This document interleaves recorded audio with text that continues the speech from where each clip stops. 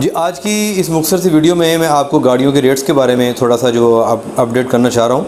कि हुकूमत को ये सिफारशात मौसू हुई हैं कि ये जो गाड़ियों के रेट्स हैं ना, इसको किसी तरीके के साथ ना कंट्रोल किया जाए। इससे पहले ये कंट्रोल नहीं है, आप गाड़ी लेते हैं, उसके बाद आप दो महीने बाद पता करते हैं तो उसका रेट और होता है।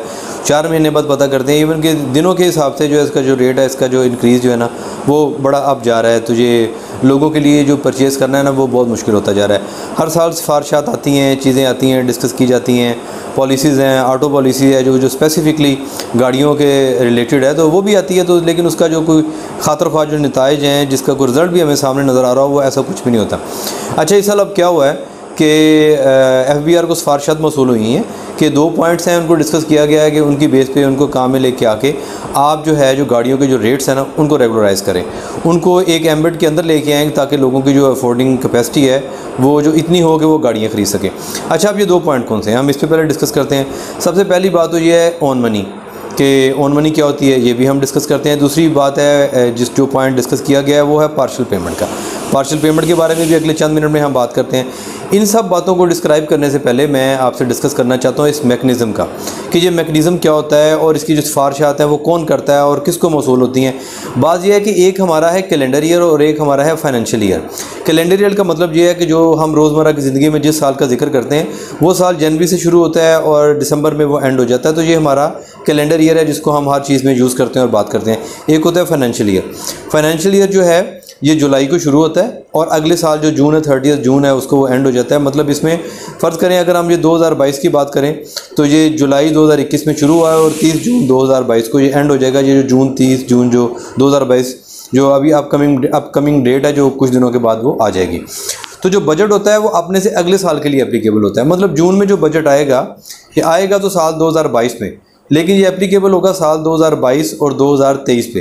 ये होता है फाइनेंशियल ईयर तो बजट आ जाएगा। बजट में सिफारशात मौसू हुई हैं कि गाड़ियों की कीमतों को जो रेगुलराइज़ किया जाए। अब ये जो सिफारशात हैं, ये क्या है? जब बजट अपनी प्रिपरेशन के मरहल में होता है तो बहुत से लोगों को इनवाइट किया जाता है। ये कानून है, ये एक रूल है, एक प्रिंसिपल सेट किया हुआ है कि बहुत से लोग उसमें अपने सजेशन देते हैं। आप सजेशंस कौन देते हैं? सजेशन आप जो कॉरपोरेट बॉडीज़ हैं, वो देती हैं। आपकी जो टैक्स बार्स हैं, वो देती हैं। आपकी जो चैम्बर ऑफ़ कॉमर्स है, वो देते हैं। इवन एक आम आदमी, एक ले मैन आदमी जो है, वो भी मेल करके अपने जो सजेशन सजेशन हैं जो, वो जमा करवा सकता है। एफ़ बी आर को कि देखें कि मेरे माइंड में ये है मुल्क का जो इकनॉमिक जो सर्वे है वो ये कह रहा है तो आप इसमें अगर ये जो चीज़ें अमेंड कर लें, कुछ चीज़ों की डिलीशन कर लें, कुछ चीज़ें ऐड कर लें तो ये ज़्यादा बेहतर हो जाएगा। तो ये कोई बार नहीं होता कि आप ये जो है सिफारशत ना दे सकें। तो वो लोगों से सिफारशत मांगते हैं, फिर उन पर अमल भी करते हैं, नहीं भी करते, उनको अपनी कसौटी पर परखते हैं, उसके मुताबिक उनको वो फिर एप्लीकेबल हो जाती हैं। तो इस जगह जो जो सिफारशत आई हैं, वो ओन मनी के बारे में ओन मनी जैसा कि अभी हमने दो मिनट पहले डिस्कस किया ओन मनी ये है कि जब आप गाड़ी ख़रीदते हैं तो गाड़ी के आप पैसे जमा करवा देते हैं? वो आपको दो या तीन महीने का टाइम दे देते हैं कि आप आ जाएँ, फिर गाड़ी ले लें। तो आप ये कहते हैं कि ये जो गाड़ी आपके शोरूम में खड़ी हुई है, ये रिक्वायर्ड है मुझे। आप मुझे ये दे दें। वो कहते हैं, नहीं जी, ये इन्वेस्टर की गाड़ी है। तो ये हम आपको नहीं दे सकते। तो ये फ़र्ज़ करें कि इसकी जो इन्वाइस है वो बीस लाख की है तो ये आप बाईस लाख की ले जाएँ। तो आप अगर एग्री हैं तो वो बाईस लाख पे ले जाएँगे। अगर अदरवाइज़ अगर आप एग्री नहीं हैं तो वो बीस लाख वाली जो गाड़ी है, उसका आप इंतज़ार करेंगे। तो ये इन्वेस्टर को वो अकोमोडेट करते हैं, इसमें शोरूम वालों को भी पैसे बचते हैं, जिन लोगों ने पैसे इन्वेस्ट किए होते हैं, वो भी इससे पैसे कमाते हैं। गाड़ी उनके पास मौजूद होती है। अब करते हैं क्या, वो आपसे एडवांस पेमेंट ले लेते हैं। आपसे फ़र्ज़ करें, उन्होंने सपोज़ के बीस लाख रुपये ले लिए और उसी बीस लाख रुपए से उनकी जितनी भी कास्ट आती है, दस लाख, ग्यारह लाख, बारह लाख, तेरह लाख, जो भी उसकी कास्ट है, वो गाड़ी तैयार करेंगे और आपके पैसों से ही, अपने पैसे वो इन्वेस्ट नहीं करेंगे। आपके पैसों से ही वो गाड़ी तैयार करेंगे और आपको वो गाड़ी दे देंगे। और ऊपर वाले जितने पैसे भी हैं, वो उनका प्रॉफिट होगा। तो इसमें इन्वेस्टमेंट उनकी ज़ीरो है। कि लोगों का पैसा है, लोगों का पैसा ले रहे हैं, वो कलेक्ट कर रहे हैं, उसी से वो अपनी सैलरीज दे रहे हैं, उसी से अपना वो सिस्टम चला रहे हैं, उसी से वो रॉ मटेरियल ख़रीद रहे हैं और गाड़ी का एक जो कंप्लीट बिज़नेस यूनिट है वो तैयार करके आगे वो फॉरवर्ड कर देते हैं। तो उनकी इन्वेस्टमेंट हो गई ज़ीरो और लोगों की इन्वेस्टमेंट उसमें पूरी की पूरी उसमें शामिल होती है और वो वेट करते हैं। अपने पैसे दे के अपनी कीमत प्राइस जो है वो अदा करके उनको इन्वाइस रेट पर गाड़ी नहीं मिलती। अगर फौरी तौर पे लेनी है उन्होंने तो वो ऑन मनी देनी पड़ेगी। तो ये एक सिफारिश तो ये है कि ऑन मनी का जो कल्चर है, ये ख़त्म किया जाए। जो पिछली जो ऑटो पॉलिसी आई थी, जो स्पेसिफिकली गाड़ियों के लिए होती है उसमें जो पाँच साल के लिए जाती उसमें भी इस चीज़ को एड्रेस करने की कोशिश की गई थी, लेकिन वो अभी तक नहीं हुई। दूसरी बात यह है कि पार्शल पेमेंट के बारे में। पार्शल पेमेंट का मतलब ये है कि गाड़ी बीस लाख की है, मैंने गाड़ी आपको, मैंने पेमेंट कर दी, और गाड़ी में लेना चाह रहा हूँ। उन्होंने कहा जी कि आप दो महीने बाद गाड़ी आप शोरूम से ले जाएँ। दरमियान में वो गाड़ी की जो रेट है, वो इंक्रीज़ हुई है डॉलर फ्लक्चुएट हुआ है तो वो गाड़ी इक्कीस लाख या बाईस लाख की हो गई। तो वो ये कहेंगे कि आप ऐसा करें कि आप आप, अब आप हमें बाईस लाख रुपये दें। आप कहेंगे देखिए मैंने पूरी पेमेंट कर दी।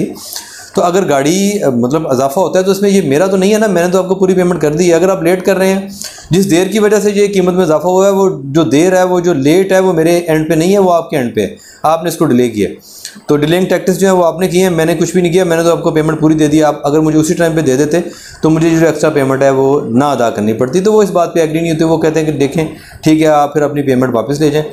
तो जिसको ये मेरी टर्म्स एंड कंडीशन मंजूर होगी तो वो जो है वो जो गाड़ियाँ जो है, वो गाड़ी वो उठा के ले जाएगा। तो एक सिफारिश ये है, यानी पहली सिफारिश जो एफ़ बी आर को मसूल हुई है, जिसको वो कंसिडर कर रहे हैं कि एक तो ऑन मनी का जो कल्चर है वो ख़त्म किया जाए।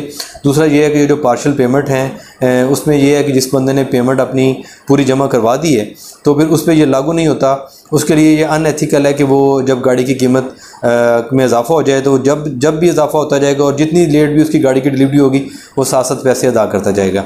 तो ये जो सिफारशात हैं, जिसको वो सीरियसली कंसिडर भी कर रहे हैं, इससे पहले जितनी भी सिफारशात मसूल हुई थी, जो भी ऑटो पॉलिसीज़ आई हैं, जिसमें लास्ट टाइम उन्होंने को सेल टैक्स का जो था, वो रेशो थी, वो कम की थी, जिसकी वजह से गाड़ियों का जो प्राइस है, वो कम होनी चाहिए, लेकिन इसका जो एक्शन और रिएक्शन था, वो रिवर्स हुआ था और अभी आप गाड़ियों की कीमतें देख लें कि वो कहाँ तक पहुँच चुकी बहरहाल, ये सिफारशात हैं। इनको एफ़ बी आर मान भी सकता है, इनको एफ़ बी आर नहीं भी मान सकता और अगर मानेगा तो फिर ये एक बहुत बड़ा एक सवालिया निशान है इस बात के ऊपर कि अगर वो मान लेगा तो क्या वो कोई ऐसा मैकनिज़म डेवलप कर पाएगा कि जिसकी वजह से जो गाड़ियाँ हैं वो मुस्तकिल तौर पर सस्ती हो जाएँ और आवाम को इन डीलर्स की और कंपनियों की जो जो मनोपली है और ये जो माफ़िया है, उसकी ब्लैक बिल्डिंग से निजात मिल जाए।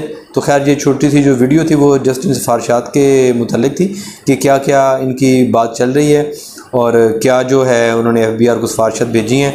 लेकिन इस पर किस हद तक अमल होता है ये अब कुछ कहा नहीं जा सकता इस पर कोई भी राय देना बिफोर टाइम होगा, लेकिन उम्मीद है कि इस दफ़ा वो इसको सीरियसली कंसिडर कर रहे हैं और ये बड़ी उम्मीद है कि जब ये बजट अनाउंस हो जाएगा और जो साल 2022 2023 यानी जुलाई दो हज़ार बाईस से ये शुरू होगा और थर्टी जून 2023 तक जो है ये एप्लीकेबल होगा, उसमें बड़ी उम्मीद है कि गाड़ियों की जो कीमतें हैं वो किसी हद तक कम हो जाएँगी।